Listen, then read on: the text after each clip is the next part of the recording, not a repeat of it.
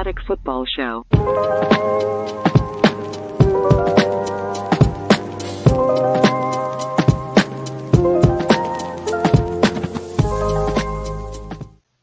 Welcome to the Athletic Football Show. Today is Tuesday, March 15th. I'm Robert Mays. Joining me today, it's my good friend Lindsay Jones. Lindsay, how you doing?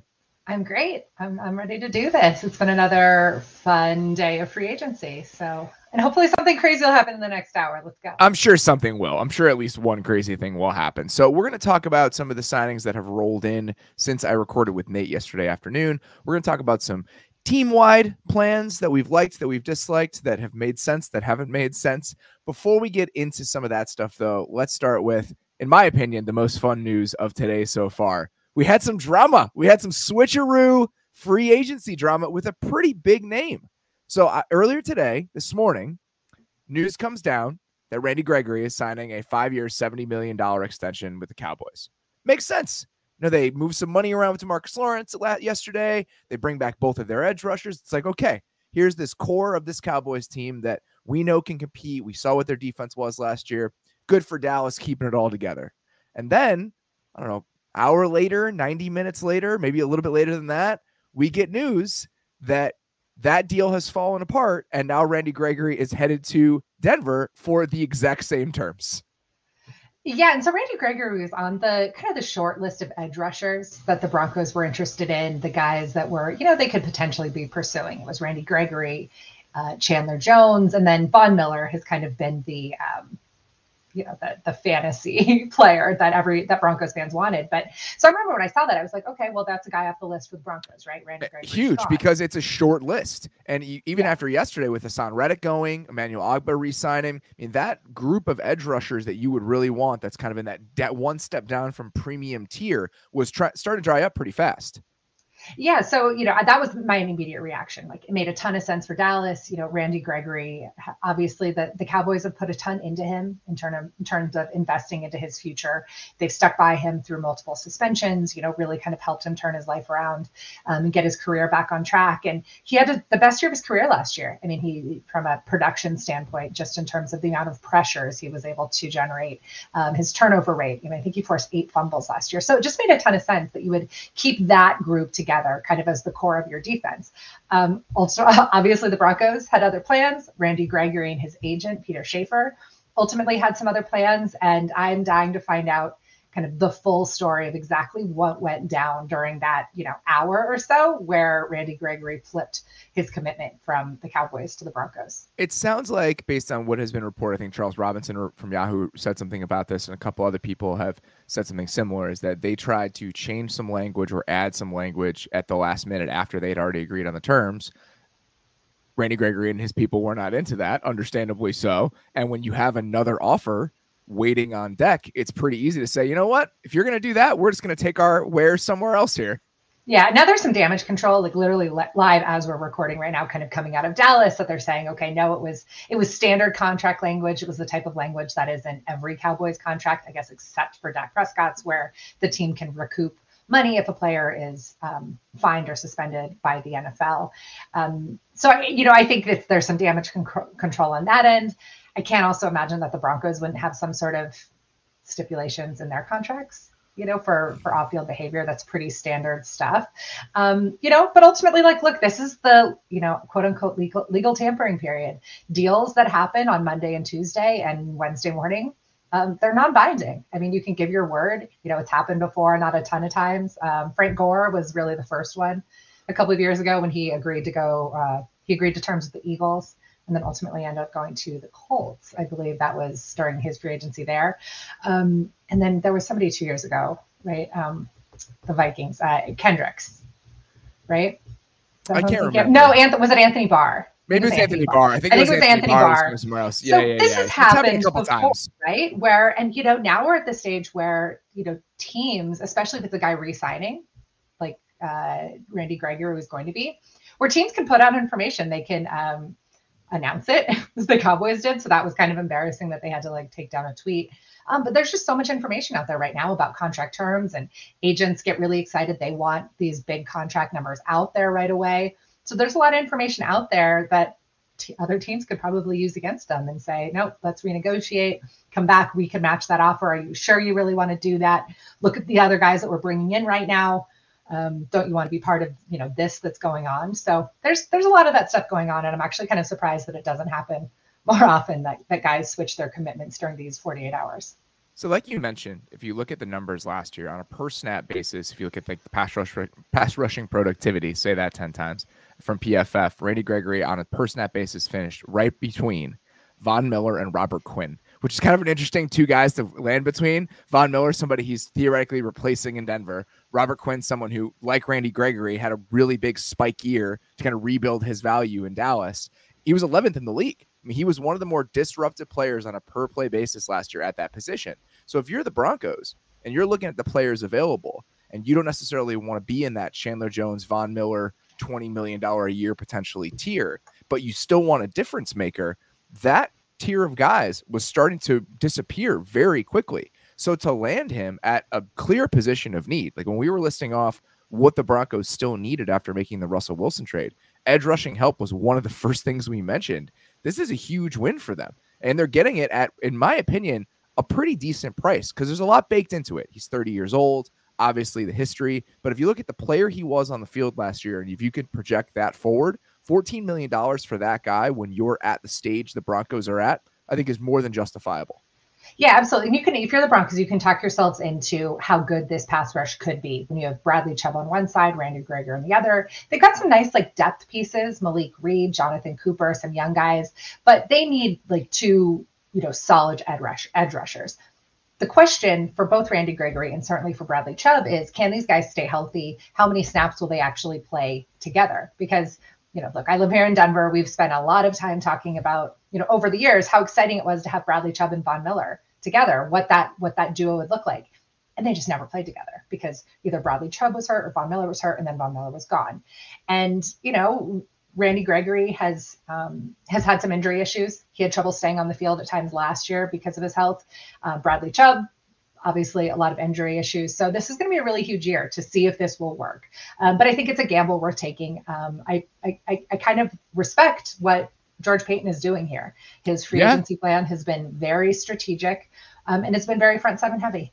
So you look after at going after Russell Wilson. On top of adding Randy Gregory, they signed DJ Jones yesterday to what is the going rate for defensive linemen right now? It's a three-year, $30 million contract. That's what BJ Hill went for. A lot of guys signing in that range more or less the deal that Shelby Harris would have been on this year if you look at the money. So after the trade Shelby Harris to kind of swap that out, DJ Jones is a really fun player. I mean, somebody that we have loved watching in San Francisco, really disruptive against the run. I think has more pass rushing juice than it might seem at first glance. This is another one of another entry into the Kris Kocurek School of Finance. If you want to get paid, just go play for the Niners for a little while as a defensive lineman. But I completely understand how you land on this guy again as somebody you want to add to that front. You're trying to be more disruptive. You have him. Now you have Randy Gregory. You have Bradley Chubb. I mean, this is a group that is suddenly coming together. And that's before they re signed Josey Jewell, who's another person we mentioned on the podcast that never aired when we were talking about the Broncos and the guys that they had and the holes they might have. So you're looking at this team right now. I mean, there just aren't that many holes left on the roster. And we've said that about them in the past. The difference is now their quarterback is Russell Wilson. Yeah. So I would say the remaining vacancies, the thing that they really need to do now, right tackle is has to be their top priority right mm-hmm. now. And they don't have a ton of wiggle room left with their salary cap. I mean, they they have a little bit of room, flexibility here and there. So I don't know if they're going to be priced out of kind of what the next tier of the right tackle free agent market looks like, or if that's somewhere that they're going to have to address in the draft. They obviously do not have a first round pick um, anymore, but maybe that's somewhere that they can address. They they brought back Calvin Anderson on a one year deal, but it was less than what they would have been if they tendered him, which to me doesn't inspire you know a ton of confidence that they are you know this is the guy they really wanted to be their long term right tackle.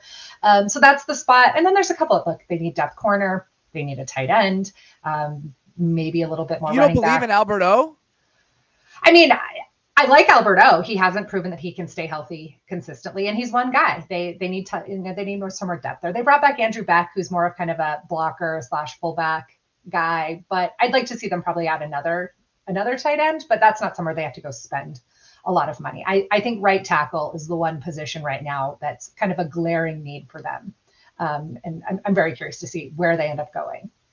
Want to see how that right tackle market ends up shaking out, that veteran right tackle market with the Morgan Moses of the world, Riley Reiff, because there are a bunch of teams I think still in that conversation that would like a player at that position. The Chargers, if after they release Bryan Bulaga, I think that's a formality at this point.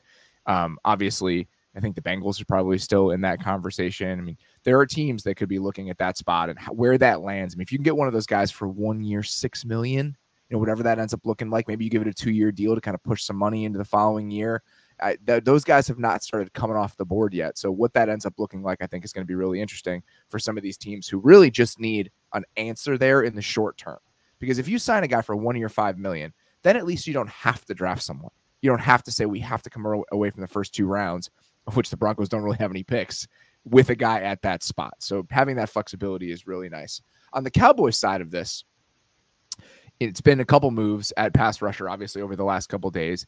They wanted to bring back Randy Gregory. Gregory. They did bring back DeMarcus Lawrence, three years, $40 million, $30 million guaranteed. This is one of those moves where it just felt like, all right, we can either cut you or you can redo your deal, stay here in a place you want to be, and make it easier for everybody. And that seems to be where the two sides landed. Yeah, and it made a lot of sense, right? I mean, it, it, he's been at his best there. They needed to keep him. This is not a backbreaking type of deal. They get a little bit more room. So that made a lot of sense. I'm guessing they did that with the idea that Randy Gregory would also be part of that equation. So now where do they go? I mean, they have a very clear need at edge rusher opposite of Demarcus Lawrence right now.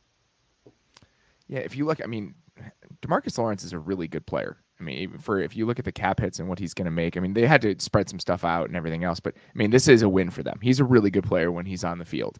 Now the question is, what do they do at that other spot? And it sounds like Von Miller might be potentially in the plans. I, I it, now that that spot is open, could this be a blessing in disguise where they miss out on Randy Gregory and then somehow find a way to sign Von Miller? Yeah, I mean, it wouldn't be necessarily like fit in line with the type of signings that they make. You know, they don't typically go out and spend a lot of money on these type of players. Um, Demarcus Ware is out recruiting right now. He's recruiting his friend Von Miller um, on Instagram. He said he's already called him. They've talked about it. Um, so we'll see. I mean, I think Von would. Von is very much enjoying his free agency. I mean, I think if you follow him on any of his social media, that has been the takeaway from the last several weeks. I think he's very much enjoying. This is the first time he's ever been a free agent, right? Because he was franchise tagged by the Broncos and then signed a long-term deal with the Broncos, and then he was traded. So he's never actually been out there on the free agent market before. And he's coming off of a ridiculous postseason run and showing that even at age 32, almost 33, I think his birthday is here in a couple weeks, um, that he's a valuable player and he deserves kind of to be courted. Um, I, I, think fully support people at age 33 deciding that you know they're really hitting their stride. That that's what right? I'm after here as someone in that and, age range. Yeah, absolutely. Look, and I, I think he very much enjoyed the love that was coming his way from Denver and from Broncos fans wanting him to come back. He was uh, stoking that fire. Um, you know, he's been playing it up, I think, with the Rams. And look, he is from Dallas. He is a Dallas guy, DeSoto, Texas. Went went to Texas A&M. A ton of really deep roots there. He owns property. He owns a ranch. Look, if um, if the Cowboys came calling with an attractive offer, I think Von Miller would be very, very receptive to that. All right, you got your news for when we were on the show. The Patriots have traded a fifth round pick for Shaq Mason, which, I mean, totally understandable, right? If you're on the Patriots timeline, we need to fill that spot right now. Ali Marpet retires.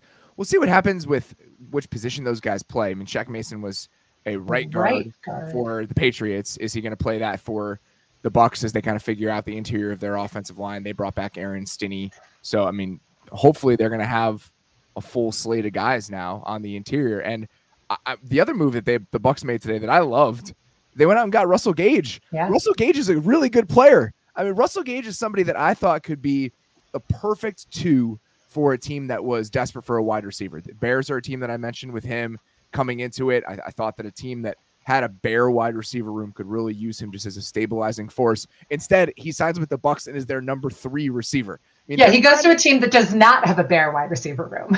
Uh, listen, got a very full wide receiver room. I think that the Russell Gage move, the Shaq Mason move, just more proof. This team is going for it. I mean, they are trying to, they are pushing it all in right now, and you cannot blame them whatsoever. Tom Brady didn't come back for them to just be like, eh, maybe we can make the divisional round again right? Um, but speaking of bare wide receiver rooms, what the hell are the Falcons doing? All right, so we're gonna talk about the Falcons here in a second because okay. I want to dig through. Who are look at their receiver depth chart right now? It is, oof. I want to. We'll talk about the Falcons in a moment because I want to kind of comb through some of the quarterback news from the last 24 hours. The numbers on the Aaron Rodgers contract are out. They're insane. When you look at the actual details of it on over the cap or Spotrac or whatever, he has a $175 million dead cap hit this year if they were to move on from him. Obviously, they wouldn't. But when you look at the dead cap hits for the next two years, it's over a $100 million. It's hilarious. The cap was 182 last year, and he would have a dead cap hit of 175 million in this moment. But it totally makes sense, right? So they have this odd structure where they bring his cap hit for 2022 down to about 28 million dollars. It was 46 million. So you save 18 million with one little stroke of the pen. He has a 58 million dollar option bonus next year and a 47 million dollar option bonus in 2024, which is a structure that you don't see used very often. With that, as soon as you pull that lever, you can prorate those bonuses over the rest of the life of the contract and just keep pushing and pushing and pushing. And that's what they're doing. When you hand this money out, it's got to go somewhere. And eventually it all comes due. The hope is that one with teams you can either outrun it and the cap is going to grow enough where it ultimately isn't going to matter or two you just don't care. You know you're driving this thing off a cliff at some point and you're willing to live with that. And with the packers it seems like a little column a, a little yeah column i think it's i think it's both. I think i think they very clearly think this will be worth it because they should be able to win a super bowl or they're a Super Bowl contending team with Aaron Rodgers on the roster. Um, so I think they could do. I think they, they it's, it's what the Saints did, right? I think the Saints just kept pushing and pushing and pushing. They always had a contending roster. It didn't end up working. They never actually got back to the Super Bowl. Didn't win another Super Bowl with Drew Brees, but they went in and pushed and pushed and pushed it every year, and now they're trying to figure it out. This is Look kind of it. what happens. Is cap it of 28 million this year, 31 million next year, and 40 million two years from now then it goes to 60 million or something crazy. So those three years are the deal are the years where they have planned on. All right, if he's here, this is what these are what the cap hits will be. We can spend in this way. If he plays for longer than that, then they have to do something. They tear it up and start over and eh, kind of climb further into this hole. But this is a world and a lifestyle that they have fully committed to. And I totally understand it. This is probably your best chance. Committing to him in this way was your best chance and now you have to do what's necessary to make the most of that. Yeah, and those are his ages 38, 39 and 40 year old seasons. So it's not insane to think about extending beyond that, but um, we very clearly know what's going to happen over these next couple of years. And now the big question is Davante Adams and what his contract is going to look like, what room is left. Um, there's been my thing lot... is what's another 30 million? Just just throw right. another fire just do it, right? Just put, point just push it further out. Um, you know, I think the one like Davante Adams nugget today is from James Jones, NFL Network, who is very tight with those guys, very very plugged in um, directly to those players in the Green Bay locker room, saying that um, Adams is adamant that he will not play on the tag. So I think it's going to get ugly and probably real uh, messy before it gets better between Davante Adams and the Packers. But there's no way that Aaron Rodgers was coming back after all of this for Davante Adams to not be part of the 2022 team. It's just going to be a, a lot of mess trying to get there. If you're looking at if you're Davante Adams and you're looking at what just happened over the last 24 hours, and Christian Kirk getting eight, 17 million a year or 18 million a year, whatever it is, uh, uh, even DJ Chark getting 12 million a year, Amari Cooper planning on a three million or three or 60 million dollar deal, Mike Williams making 20 million a year. I wouldn't be happy either if I was playing yeah. on a 20 million dollar franchise tag if I were kind of undisputably the best receiver in the league right now. All right, a little some more quarterback news here. sounds like the Browns have entered into the Deshaun Watson conversation. It's been reported that they were flying to Houston uh, earlier, I think it was on Tuesday, to meet with Watson and his people this does not surprise me. When, when they made the Cooper trade, and I was kind of looking at it, it feels like they could want to get in on this because they have a ready made place for him. They have an argument. Now that they have Cooper in place, you have a number one receiver. You potentially, if you could draft another receiver 13th overall, if you express that you're looking to do that, you have a really good offensive line, even with the JC Tretter move, which we'll discuss. And you have an offensive minded head coach, a defense that's ascending. I mean, this team absolutely is in a really good spot roster wise to make a case to Deshaun Watson. If they trade Baker Mayfield back to Houston as part of this deal, they save a really big chunk of money. They can do it under the cap. I mean, all of the signs pointing to this on a football level made sense to me. Yeah, and it's really interesting because when you look at the team, the other teams that are involved in all of this, it's just basically everybody in the NFC South. Um, the, the Texans declined to allow the Texans or um, the, the Colts, excuse me, to meet with. Um, you don't, you don't say. They're not going to trade him within the division. They still hold some cards there, which is interesting because he probably would. I mean, from a football perspective, that's probably somewhere that he would want to go. Good on um, the Colts, by the way, for making the call. Just you make a call, right? diligence, right? Um, just find out, right? And instead, now it's um, basically the Browns as the only team in the AFC. It is really interesting because even if they don't get him, right? Even if ultimately Deshaun Watson ends up in New Orleans or Carolina, this is like the point of no return with Baker Mayfield because I mean, he would still be your quarterback if you don't pull off this trade, but it's pretty clear about their plans for him and how they view him and their prospects of winning with him long term. Um, so it'll be a real awkward season, I think, for the Browns. It always felt like they were going to move on when the opportunity presented itself. This is the opportunity. Yeah. Baker Mayfield at $18 million is more than palatable. And I feel like that's the way that they've been looking at this. I don't know. They don't want to commit to him long term, but if you're looking at the quarterback landscape, Carson Wentz is making 28 this year from Washington. Baker Mayfield at 18 is something you can talk yourself into. But if there's a pathway to a better quarterback, they're going to try to take it. And that's exactly what this is. They haven't given up any draft capital in any other places. I mean, they're ready to make a move like this. So I, it's not surprising to me at all. The Falcons were a bit surprising. The idea that the Falcons have entered the chat here as it relates to Deshaun Watson, Dianna Russini reporting that that Watson actually pushed for a meeting with Atlanta. He's from the area. I mean, I don't understand why else the Falcons would be a attractive destination for Deshaun Watson at this point, but it does seem like they have kind of come into the conversation a little bit. Yeah, because there's no but nothing else about that roster that you know you would look at and say, "Oh, that's a place that I want to go." We were just discussing this. What does the Falcons yeah. wide receiver depth chart look like? Yeah, and I don't know if this is just about you know having a prior relationship with the with Arthur Blank. That's somewhere that he feels comfortable, that he would be supported. Maybe he wouldn't face the type of scrutiny that he might get other places. You know, he obviously has a support system. I mean, literally, his hometown of Gainesville, Georgia is 10 miles. I Google mapped it a little while ago from the Flowery Branch facility, which is about an hour from downtown Atlanta. But this is a place where he um, probably feels really safe and protected. And, um, but I don't know if it's a place that he would win. There's been a lot of league speculation today that this is just kind of like gamesmanship by the Falcons and trying to drive up the market um, and drive up the price that their division rivals would have to pay, as the Panthers and the Saints are the other two um, teams that are interested right now and that I've already met with him. Um, but yeah, it's it is it's the one that's the most like financially complicated because if the Falcons' interest is it's complicated on significant so levels. Yeah, I mean they have a very expensive veteran quarterback that I'm sure they'd love to figure a way to get out from under the Matt Ryan contract, but getting into another expensive quarterback contract isn't necessarily the way to do that. Didn't they just restructure Matt Ryan's contract? So, so now there's even more dead money on the cap if they move yes. on him in this moment so according to Spotrac, um, or excuse me, Jason Fitzgerald at Over the Cap, um, there's the restructuring has been like agreed to, but not actually filed with the league yet. Interesting. So it's a little unclear exactly what his numbers are, if it's officially restructured or not. Um, there have been some reporting on it, and Mike Rothstein from ESPN.com has reported on the restructure, but it apparently has not gone through the the official NFL contract system to be, be officially on their books yet.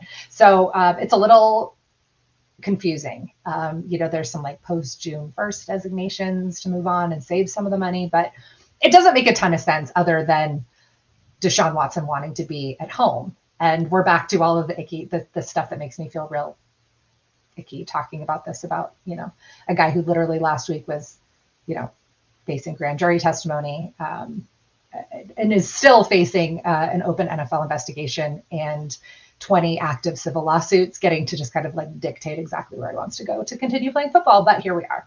If you're Atlanta, even if the finances of it are a little bit complicated, I do think it makes sense eh, when you're talking about their plan overall because it doesn't seem like they really had one, and to no fault of their own, really. you know, the, the financial mess that they were left with didn't leave them a clear out and didn't really leave them a clear pathway to the next stage of this if they didn't like any of the quarterbacks at four.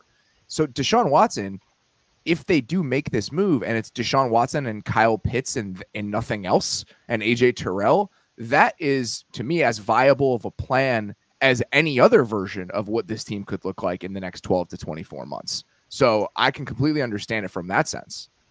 Sure. Yeah. I mean, the, this has been our biggest problem with the Falcons dating back for over a year now is like, who are they? What direction are they going? What is their long term quarterback plan? Um, I'm just going to be real interested. You know, he's agreeing to meet with these teams. Is he going to waive his no trade clause for all of them? Would he waive it to go to Carolina, New Orleans, Cleveland? Seems seems like maybe he would waive it to go to Atlanta. So he does hold a lot of cards here, and if he wants to go somewhere that doesn't seem like the most conventional fit, by all the other football metrics, I guess I guess that's his choice. The Carolina thing is just very strange to me. I mean, they're all the turnover in their offensive coaching staff. Their offensive line is not good. They have some weapons, but there aren't a lot of pluses in the Carolina column for me as it relates yeah, no, to the football situation there. Yeah, it just except they're I think they're going to be very aggressive in their pursuit. Yeah, because they're in the same spot as Atlanta, right? We don't have a plan. So this is now our new plan. And it's better than the old plan because at least we end up with Deshaun Watson. It doesn't matter what it costs to get there. So again, I understand their interest in this. I'm not sure why Deshaun Watson would be that interested. Yeah, One, I mean Cleveland is probably the best football setup of those four definitely, teams. Definitely. I mean, they, they have a roster that's almost close to complete. And if you again, you go to receiver, I guess they wouldn't have a first round pick in this scenario, but I mean, they're uh, to me, I do think that they're in the best spot. All right. So the one other thing with the Browns, they released J.C. Tretter today it, the offensive line was getting very, very expensive, which it makes sense to ultimately have to save in one place or another. They have two of the most expensive guards in the league. You know, they felt like Nick Harris, who's got some spot time for them, could step in and do a decent job. Totally understand that. JC Tretter hits the market as an attractive center, especially when you consider what happened yesterday. Ben Jones goes back to Tennessee. Brian Allen goes back to the Rams. Ryan Jensen goes back to the Bucks. If you're a team like I don't know, say the Chicago Bears. A guy like JC Tretter could make sense to you. And with Chicago, there's a lot of points of connection there. Luke Getsy was in Green Bay when JC Tretter was in Green Bay. Alex Van Pelt, who is the Browns offensive coordinator, was in Green Bay with JC Tretter when Luke, Luke Getsy was on the staff. Those guys know each other. It's a pretty quick phone call of, hey, you think JC still got it? Absolutely. We just couldn't make it work. Okay, sounds good. That's it. I mean, those little tiny things I think ultimately do matter in processes like this and they have a need there. So I would like to see the Bears make that phone call. Yeah, and it's going to be there, there's a couple others. I think Alex Mack is a name to watch to see if he ends up on the market at some point. Um, but yeah, JC wants to keep playing. Um, he's very uh, he's very reliable. I think he missed he's one available. game. That is a huge thing for me. He's available, yeah. which at that position is really. He missed important. one game because of COVID last year, but otherwise, I don't think he missed a single game while he was with the Browns. Um, he was very much a security blanket for um, for Baker Mayfield. You know, they're going to miss him, but uh, ultimately, like they had to make a cut somewhere. Um, Ravens, Steelers could he switch to switch teams within the division? Well, I'm the Steelers. To... We're going to get to the Steelers in a moment. The Ravens, I think, could be a possibility as they shuffle their interior the offensive line. Bradley Bozeman is also somebody that's available if a team needs a center. But with, moving to the Steelers here for a moment, the Trubisky terms were not out when Nate and I recorded yesterday. Two years, fifteen million. It's totally fine. Yeah, I, totally fine. It, who cares? That's backup quarterback money. Yeah, I, I dipped in while you guys were talking about why aren't the terms out, and Nate was like, "Is, is it because they're so high?" And I was like, "No, no, no, it's because they're so low. They're embarrassed. They don't want them out there, um, or the agent." one or the other. It was one or yeah. the other, and now it makes a lot of sense. So he got that's backup quarterback money. That's high end backup money. So if you're the Steelers, giving him seven million dollars a year and not giving up a pick, I do think is totally justifiable. It's a preferable path than going with a Jimmy Garoppolo, for instance, where you'd have to give up a real pick potentially and pay him $25 million. And with that savings, they have rebuilt or added to their offensive line. They re signed Chuck for three years, $30 million, about $20 million or so guaranteed their right tackle. That seems like a lot. It's kind of the going rate for right tackles like that in free agency. I believe it's the same deal as George Fant got from the Jets. Like if you look at some points of comparison. Like that's happened a couple different times. And then Mason Cole signed a three year, $15 million deal. And James Daniels, this is the one I like three years, 26 million, $8 million a year for 24 year old James Daniels, who's bounced around a lot in Chicago. I people in the league are adamant that he's a center. I remember talking to a GM recently where he was like, he's a center. He should play center. And that I think raises a question: What are the Steelers going to do with these three guys? It, where does Kendrick Green, who they drafted last year, where does he end up fitting? Where does Daniels end up playing? Where does Mason Cole play? Kevin Dotson is obviously in that mix. Does he move back to right guard where he was actually better a couple of years ago? So a lot of moving pieces there, but they've added a lot of bodies. They've used some of that financial flexibility of $7 million of Mitchell Trubisky to kind of make sure that group is functional this year. I just don't think, and I know you and Nate talked about Steelers quarterback plans a bunch yesterday, but it just doesn't feel like this is the. There's got to be another move coming. The, the contract tells you. Guy? Yeah, so it's it's like you know you can kind of look at it and you can make some jokes, or you can say, okay, maybe this is a chance for him to resurrect his career, and um, it just it just doesn't feel like they're done. And it's been frustrating for many years that the Steelers haven't done more to kind of address their long-term succession plan for Ben Roethlisberger when you could see this coming. Um, but yeah, you think you know, how do you think he would have taken that? Not great. I think that's part of the probably not as great as Aaron Rodgers would have. Um, although I don't think he would have turned it into an uh, back-to-back MVP seasons. I don't think. I, I don't think so him. either. So I am excited to see a quarterback who can move there a little bit. It'll be jarring to have it on our television. It is going to be. A, we we talked about this yesterday. It's going to be weird. It's going to be such a weird offense. It's going to be tons of mo- motions and carrying the ball. And, I mean, he. That's what they should do. I mean, if you're not going to be good, at least be weird. And I think that's the point that they need to reach with Trubisky, at least in the short term, as they figure out what this is going to look like. But when a contract, listen to what a contract is telling you. I think is something that I've learned over time. And that contract tells you that this is not a long term commitment. This is a let's see what happens as we look for whoever our quarterback of the future is ultimately going to be. And to not compromise yourself financially when you're going through that process, I think makes a lot of sense for the Steelers. All right. We're going to talk about some of the other biggest signings that have happened since we recorded yesterday. Before that, though, let's take a quick break. Spring is so close that you can almost feel it, so it's the perfect time to get outside and move, whatever your speed. Allbirds just released the new Tree Dasher 2, the next generation of their best selling, insanely comfortable running shoe, made from a mix of natural materials that's better for you and better for the planet. It was gorgeous in Chicago this afternoon, me and my fiance went for a little walk. I threw on my Tree Dasher 2s, walked about three and a half, four miles. So incredibly comfortable. I love the way that they look. Allbirds is a perfect slip on, do everything option. But with the Tree Dasher 2s, you can also add a really high quality running shoe to the mix. This is the next evolution of Allbirds' best selling running shoe, adding comfort to every run with lighter, more responsive foam, extra grip, and an improved fit to keep you running and nature winning. Spring forward with the Allbirds Tree Dasher 2 running shoe. Discover your perfect pair at allbirds.com today. That's A L L B I R D S.com. Our next partner is a great product that I use literally every day. Let's talk about Athletic Greens. If you're looking to get better gut health, more energy, or a stronger immune system in a really easy, natural way, you've got to check out Athletic Greens. I'm sure you'll all agree that most of us aren't huge fans of taking a bunch of pills or vitamins in the morning, with Athletic Greens, you can get rid of all those extra vitamin bottles and finally make some room in your cabinet. It's the all in one solution that actually tastes good. You'll really enjoy taking your daily vitamins. So, what is this stuff? With one delicious scoop of Athletic Greens, you're absorbing 75 high quality vitamins, minerals, whole food source superfoods, probiotics, and adaptogens to help start your day right. This special blend of ingredients supports your gut health, your nervous system, your immune system, your energy, recovery, focus, and aging. Tons of people take some kind of multivitamin, and it's important to choose one with high and quality ingredients that your body can actually absorb. Athletic Greens is a small micro habit with big benefits. It's one thing you can do every single day to take great care of yourself.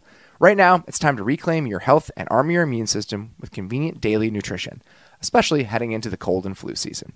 It's just one scoop in a cup of water every day. That's it. No need for a million different pills and supplements to look out for your health. To make it easy, Athletic Greens is giving you a free one year supply of immune supporting vitamin D and five free travel packs with your first purchase. All you have to do is visit athleticgreens.com slash mays. Again, that's athleticgreens.com slash M-A-Y-S to take ownership over your health and pick up your ultimate daily nutritional insurance. All right, let's run through some of the bigger signings that have happened since yesterday. Marcus Williams, five years, $70 million with $37 million guaranteed to go to the Ravens. The Ravens were a team we thought might be in the safety market. And when I was talking to Sheil and Nate last week, we mentioned Tyrann Mathieu as a potential Ravens fit. Instead, they go and get arguably the top safety on the market. Five years, $70 million, $37 million guaranteed is a big deal, but it's not crazy. It's not market setting. I mean, he comes in just under the Kevin Byard Budda Baker number, just ahead of what Quandre Diggs got yesterday. It makes sense for both parties, in my opinion. Um, I love it. I think it's my favorite deal of the day. Um, I know we're, we're going to talk kind of at the end of the show, wrapping up some of our favorites. Um, so far, it's my favorite deal of the day um, for fit for the team, fit for the player. The contract isn't nuts. I mean, we're not seeing, you know, resetting of the market with some of these deals. The, the, the defensive back market, that's kind of, I think we're going to get into some of the cornerback stuff. We've seen some big deals, but we haven't seen those crazy, like, holy shit, I can't believe yeah. they're breaking the bank for these positions. Um, so I like it. I think the it Jags sense. don't have a need at that spot. That's why. that's fair because the Jags are investing all of their money in off ball spots. It's like, I, you look at where the Ravens defense is now, they still have needs up front. And I I just keep waiting for them to sign Za'Darius Smith. It would be the most Ravens bullshit to Bring obviously well, the Marcus Williams movie is a little bit out of character. They don't really go for these huge splashes in unrestricted free agency. You know, a lot of the time they'll make moves where like Kevin Zeitler last year is a perfect example, right? Gets cut, doesn't play into the comp formula. Marcus Williams absolutely does.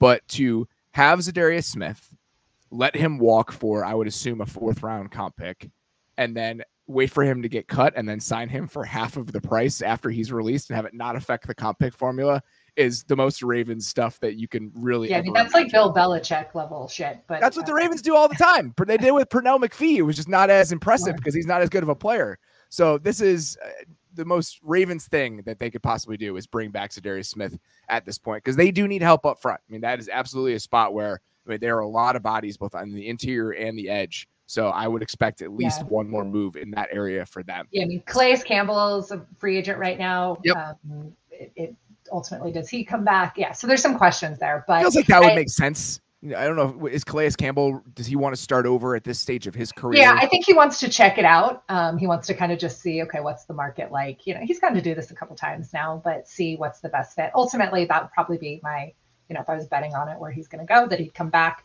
But um, I just, I like it. I just didn't think it was a crazy deal. It just made a ton of sense. You know, Eric DeCosta has earned a ton of that um, benefit, benefit of the doubt, right? Where um, they don't make a ton of like dumb moves. You know, they say, okay, if DeCosta wanted to spend the money here, I think there's a reason they really like this guy. Um, and I just, uh, yeah, I'm excited about it. My favorite move of the day. All right. So our own Connor Hughes at the Athletic had been reporting that the Jets were in on Williams and they were interested in him. He goes to Baltimore. Joe Douglas pivots. The Jets sign DJ Reed, three years, thirty-three million dollars. This is around what the Ronald Darby contract was last year. I mean, it's just starting corner in free agency, and this is makes sense in terms of value. They needed somebody at that spot. I mean, their secondary was an absolute disarray coming into this process, and they had a lot of money to spend. So it, obviously, he has a history in that Seattle scheme, with which Robert Saleh knows extremely well. So that is a little bit of a little point of connection there. And then it sounds like the Jets also signed Jordan Whitehead. Yeah. In the process, yeah, I believe that's happened right before we started recording. So, eh, it's yeah. barely in my outline as a result of that. So the Jets add two guys to their secondary. Eh, those were huge positions of need. I mean, they signed a guard, they signed a safety, they signed a corner, and a tight end. They signed CJ Uzomah yesterday, three years, 24 million. I mean, those are the spots. If you're looking at this roster, that's where they needed guys. And you know, they paid up for some of them.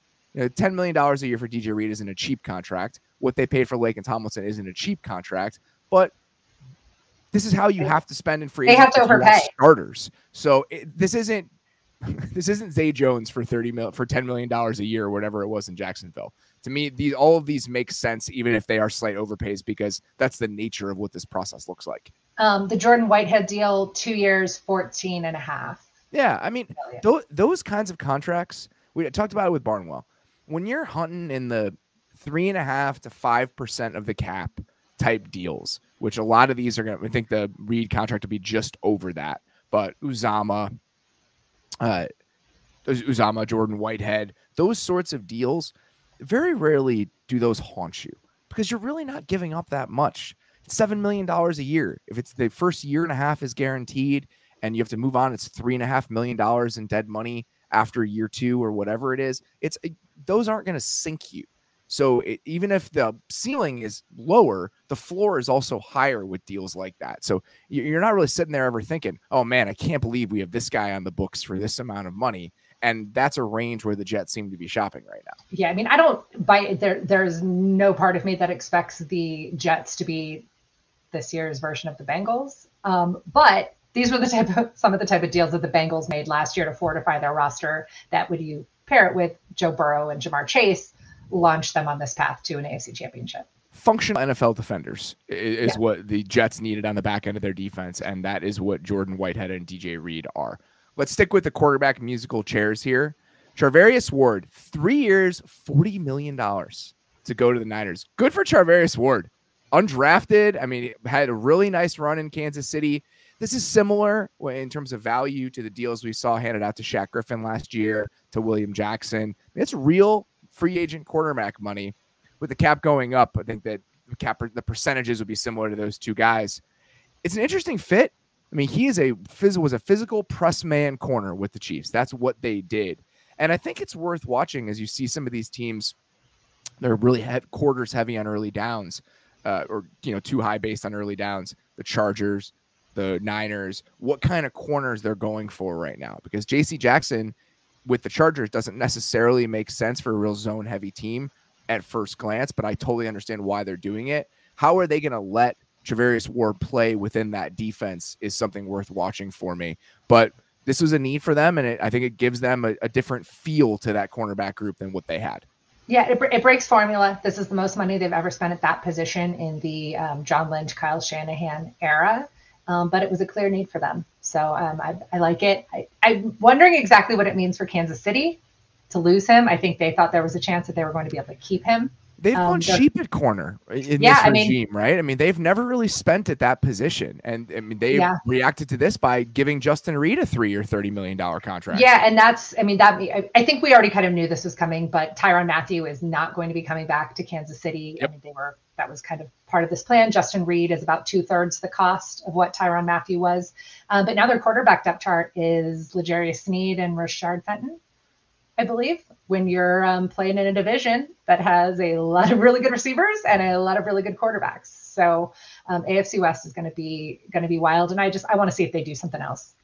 It's been fascinating how they've pieced that together over the last couple years. I mean, going in DeAndre Baker and Mike Hughes and these kind of buy low propositions they've engaged in at that spot, they've managed to cobble it together. And the way that the defense is structured, they rely on the safeties so heavily, and it feels like that's what they see Jordan Reed or Justin Reid as. I mean, he's a really, really good athlete.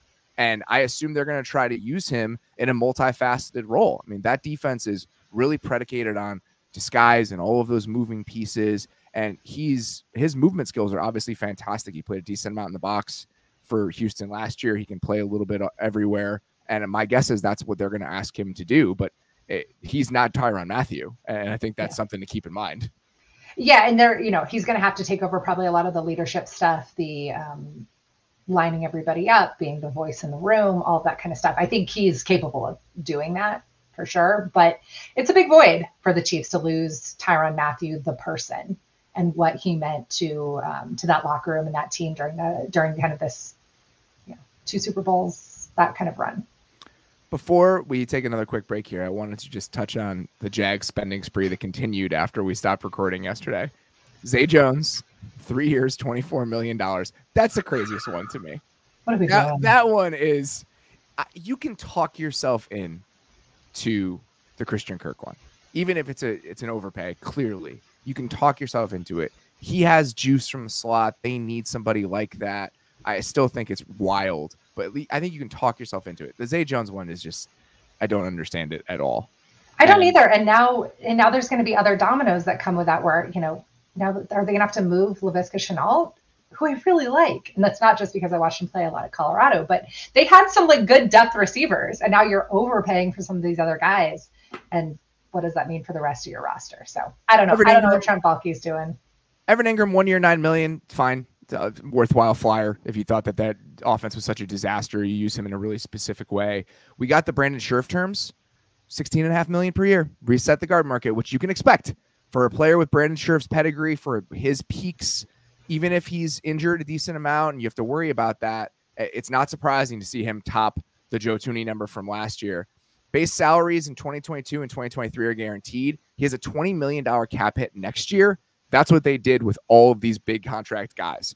With Kirk, with Oluokun, and with Scherff, they have big bumps after small cap hits in 2022. So, I mean, all three of those guys are going to be making around $20 million against the cap next year. The cap is going up, but this is what you do when you hand out these massive contracts in free agency. I mean, eventually those as as soon as next year, you're going to look at those cap numbers and be like, "Oh man, those are high." and they are moving out. Cam Robinson is uh, only there for a year. I mean, just I don't know. They've already cut. They cut Myles Jack. They cut today. Myles Jack. It, they have so much cap space. Trevor Lawrence is on a rookie deal. I understand all of this. When has this ever worked out? When have you ever looked at a contract like the Kirk one and be like, you know, I'm, I'm glad this is on the books. This is definitely going to take us where we want to go. It, this could be an outlier. He could be a good player for them. Their offense is better because Christian Kirk is there. But just this path and this version of a plan, it, it, there's just so few examples of it working out well for someone. So, with all of those moves, now DJ Chark is uh, the odd man out in Jacksonville. He signs a one-year, twelve million dollar deal from, with the Lions. Makes perfect sense to me. I mean, they absolutely have a need there. So Amon-Ra St. Brown uh, obviously does a very different thing than what DJ Chark does. They needed an outside receiver. They have cap space. I mean, this is the type of move that he's not going to block anyone. If they draft a receiver, they can play all three of those guys at the same time. So understand how you land here if you're the Lions. And he's somebody with real upside. Out speed, size on the outside. I mean, if you let's say he hits and you want to make him part of your long-term plan, he's still very young. I, get this from Detroit's perspective.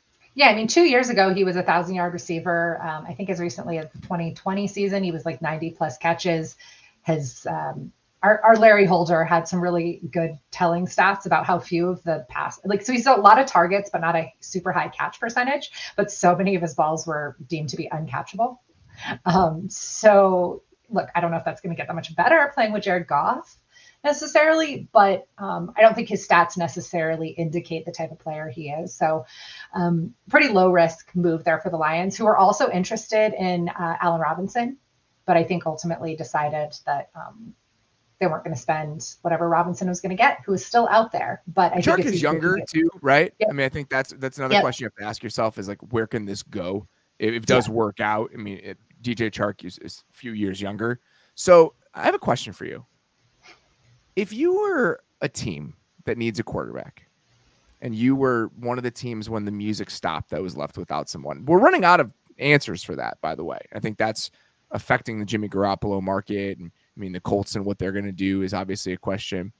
Jared Goff has a $10 million base salary this year. The Lions would save $15 million if they trade him. I'm just, I'm, I'm just, bringing this yeah. up. I'm, I'm just throwing this out there. I don't know the at this stage for the Lions. I don't know if saving that 15 million dollars would be worth it for them. They'd be left without a quarterback. I think they want to appear mildly competitive there are culture questions involved there. Who's going to be your quarterback? Maybe the $15 million in savings isn't worth it, but I don't know. It's just a name because it, there's so few guys that their team isn't connected to them for any long, like for the long term. Where it's like, oh, well, he's not going to be in their plans two years from now, so maybe he'd be available. But it's kind of funny that so many of the quarterback seats have already been taken that I'm not sure who would even be interested in Jared Goff. But when I was looking yeah. at their cap, it just jumped out to me. Yeah, I mean, it's like, okay, well, then who? Is it the Colts? Would the Colts want Jared Goff? Would the Saints want Jared? Whoever loses out on the Deshaun Watson sweepstakes, would they want Jared Goff? I, you know, there's just not a ton of landing with the, the Seahawks. I mean, I'm trying to think of who who are the rest of the. Those are those are the teams. There. Those those are definitely the teams. Look, I mean, he's he's not great, but he's made it to a Super Bowl. Like, what's the gulf between Jared Goff and Jimmy Garoppolo? What's ten million dollars. Jared if you, Goff and Carson Wentz. That's kind of what I'm saying. If you need a, a, functional quarterback this year and his base salary is 10 million bucks and you can get him for some draft capital. Is that worth it? But again, we're running out of teams that Yeah. need that sort of answer. And the Lions might be happy with their, him being their functional quarterback as they bridge to whatever they're going to do. In Exactly. Maybe the $15 million they save isn't worth it for the Lions. All right. We're going to take one more quick break and then we're going to wrap it up here. This episode is sponsored by Good Chop. With Good Chop, you get a flexible monthly subscription plan for high quality American meat and seafood. Good Chop offers convenient, contact free delivery right to your doorstep. Their orders are fully customizable. You can choose beef, chicken, seafood, and pork products you like the most. For example, their beef is well marbled Angus choice and prime cuts, or you can get delicious 100% grass fed steaks, whatever you prefer. With the seafood, it's sustainable and wild caught, whether you want salmon, Pacific cod, or something else. Good Chop especially prides itself on sourcing beef that comes with no antibiotics or added hormones ever. There's no artificial ingredients, only the good stuff.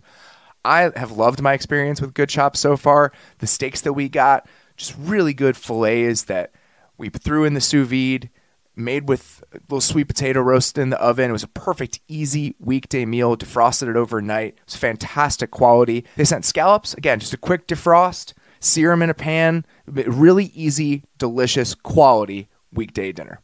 Go to goodchop.com slash mays100 and use code mays100 to get $100 off your first three boxes. Again, that's goodchop.com slash mays100 and use code mays100 to get $100 off your first three boxes. Good Chop, America's online butcher. The beginning of a new year is a great time to finally start things, like diets, workout routines, or thinking about your financial future. Even if you don't plan on getting off your couch in 2022, you should at the very least do one responsible thing while you sit there. Check out wealthfront.com.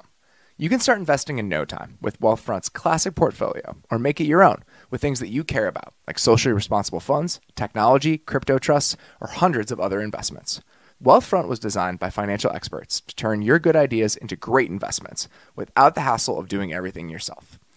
Don't want to spend hundreds of hours trying to lower your tax bill? They help you do that. Not sure how to rebalance your portfolio or what rebalancing is? They do it for you automatically. Wealthfront is trusted with over $28 billion in assets, helping nearly half a million people build their wealth. And the best part is their product is so simple yet powerful that it has 4.9 out of 5 stars in the Apple App Store. To start building your wealth and get your first $5,000 managed for free for life, go to wealthfront.com slash mays. That's W-E-A-L-T-H-F-R-O-N-T dot com slash M-A-Y-S to start building your wealth. Go to wealthfront.com slash mays to get started today. All right, before we get out of here, wanted to talk to you about some of your favorite moves, some of your favorite plans that you've seen here over the first 36 hours or so of free agency. Sure. Well, I already talked about the Marcus Williams deal. Um, I, I, obviously really, I obviously really liked that one.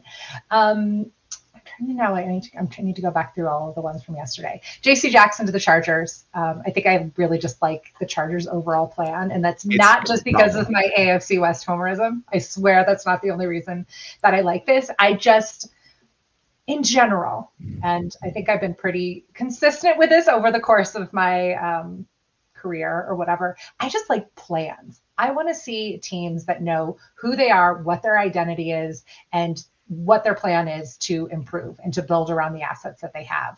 And I very much appreciate that the Chargers, Tom Telesco and Brandon Staley, they understand what they have in Justin Herbert and they're they understand the weaknesses of their team too. They understand what went wrong for them in 2021 and the things that they needed to do to improve. And that was addressing their defensive line.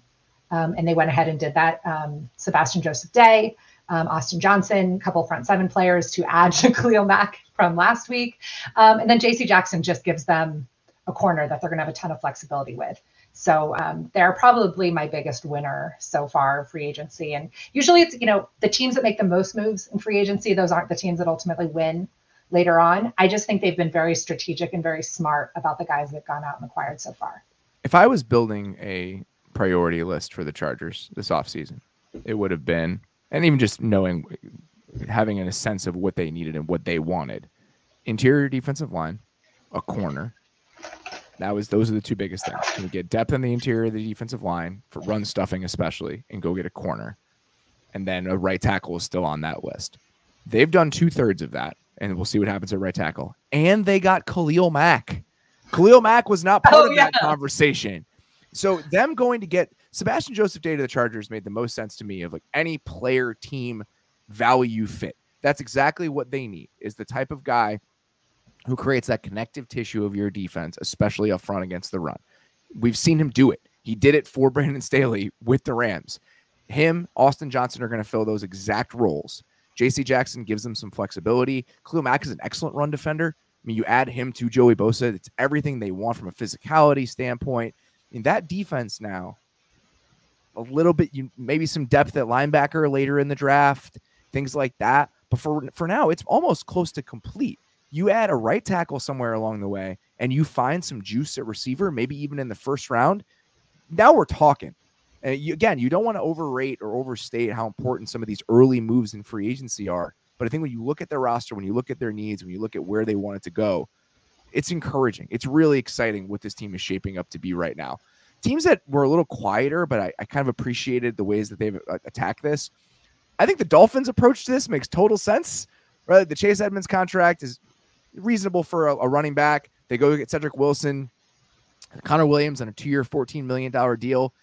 You just need bodies. You know, Connor Williams isn't great, but they need functional NFL offensive linemen. That's what he provides them. I also thought the Austin Corbett contract to Carolina was pretty good for that reason. That the Panthers absolutely needed another starter in the interior offensive line. They got him for about eight million a year, and they go get Teddy for six million a year in Miami. So their approach right now, I think, totally reasonable. I always am interested in what the Bills do, Uh, how they approach this, just because they've been such a fascinating team in free agency over the last couple years, and they've just done so much Bill shit over the last Yeah. day or so to go Yeah, get we- Jones, who I like. You know, Tim Settle, who couldn't find a spot in the rotation in Washington, but is perfect for a Buffalo team that lets their guys play 42% of the snaps. Roger Saffold is there now, going to get JD McKissic to add like a very specific. That's the one I really set. liked. You can just see it, right? To add a very specific skill set to their backfield. So just everything the Bills do, I'm always looking at it in, in this time on the calendar, just because I think they always have a really interesting plan and it makes sense in a lot of ways. And then the Giants are taking on a very Bills esque approach in what they've done over the last day, going to sign, getting Jon Feliciano to play center for a year, Mark Glowinski on a three year, $18 million deal to be a, again, a functional right guard for them. Bobby Johnson, who was the offensive line coach for the Bills, is now with the Giants. This process of, all right, we're going to go get you a bunch of moderately priced pieces and you figure out how to use it. That's the process that they went through in Buffalo for years. Just dice roll after dice roll after dice roll in free agency. And it seems like they're trying to do that again as they cobble this group together. So those are just three teams that jumped out. They're not necessarily good or bad, but just their set of moves overall, I, I found interesting to me. Um, I'll say we we talked about the Chargers before. Bryan Bulaga uh, officially has been cut while we have been here talking, so it was kind of a procedural move that we were all expecting. Um, and now we just kind of wait to see what the quarterback. I, I think it's the what's going to happen with Sean Watson. How quickly is this move going to happen? Um, and then maybe what what else is going to happen with this edge rusher market? Yeah, I think those are the oth- some of the other big dominoes, right? Von Miller, Chandler Jones, what ultimately ends up happening there. Teron Armstead, you know, Yeah. does does Deshaun Watson's choice affect what he ultimately wants to do as it relates to New Orleans? So we will be keeping our eye on all of that over the next day or so. We will be back tomorrow, same time, th- excuse me, 4 p.m. Eastern with Sheil. The- So please, people- come- Before we sign off, the people want to know if you're going to be wearing your glasses tomorrow. I did not know the glasses would be so controversial. I, I'm just saying I logged in because I wanted to see um, after the Christian Kirk deal yesterday. I like logged into the live chat because I just wanted to see what you guys, how you were reacting to it, and I was just stunned to see the glasses. And I tweet, I I got in the chat. No, people are asking about the glasses, so people want to know. Casey always was on me because I didn't have glasses, and she's like, "How do you not have a pair of glasses?" Because I wear contacts, but I haven't had a pair of glasses for years. And I was like, "All right, it's time to finally get glasses." And the first day I wear them, it just becomes a thing. Well, Barnwell giving me shit about it, so uh, I'm going to be sparing in how I use the glasses from now on. I think I'm Well, I just very- about it. People said you looked like you were trying to get into Hogwarts. So then it got into this whole discussion about like a sorting hat and which house would you be in. And I had to explain that Nate and I have tried to teach you about Harry Potter. No, you can't tell people this that I don't care about Harry Potter because it's like the worst thing you can say on the internet. I don't dislike it. I just never. It's never been important to me when we went to Harry Potter World during Super Bowl week, which was a very fun media party version of the media party. We all went to Harry Potter World. And when we turned the corner and Nate saw the castle, Nate and I lost our shit. he had a religious experience. And I was like, oh, that's really cool. That's a very impressive feat of human engineering. But there was nothing deep in my soul that was affected by No, I mean, yeah, I know. Like Nate and I were crying. We were like like hyperventilating, and Robert was like, "Whatever, it's Friday night, no big deal." So, anyways, we had a great Hufflepuff time. It was a very pleasant evening. All right, that's all we got. Tomorrow, She's gonna be- wearing the glasses. It'll be great. I, w- I may wear the glasses again. Sheil will be here at Do 4 it. p.m. Don't let us shame you out of the glasses. Wear the glasses. They're right here, but I have my contacts in. It gives me a headache. Sheil is going to be here with us at 4 p.m. Eastern on Wednesday. So please come check that out. Sheil has obviously been grading all of the moves in free agency on the athletic. You can go read that if you go grab an athletic subscription at ath- excuse me at, at the athletic da, da, da, at theathletic.com slash football show. If you do not have a subscription, I highly recommend that you go grab one now.